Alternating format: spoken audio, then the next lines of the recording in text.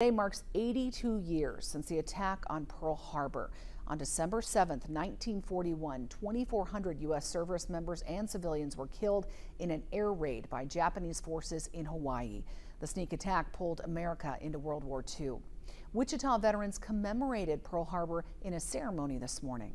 It's important to remember not only on behalf of those who, who suffered the attack and, and died that day, but of the people who suffered the immediate after effects, uh, the greatest generation of that war. The ceremony was held at Veterans Memorial Park in downtown Wichita.